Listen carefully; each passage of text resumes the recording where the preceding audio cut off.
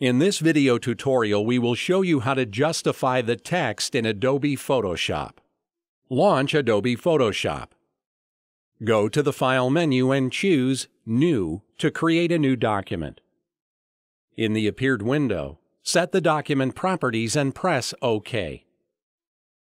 Go to the toolbar of the program. Choose the Zoom tool and scale the document area for comfortable viewing.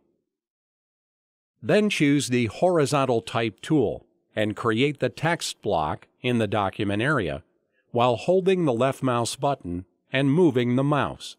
Set the cursor inside the text block and type the text you want to justify, or right-click and choose the Paste option from the drop-down menu to insert previously prepared text. Select the text and go to the Window menu. Choose the Paragraph option from the drop-down menu in order to open the Paragraph tab.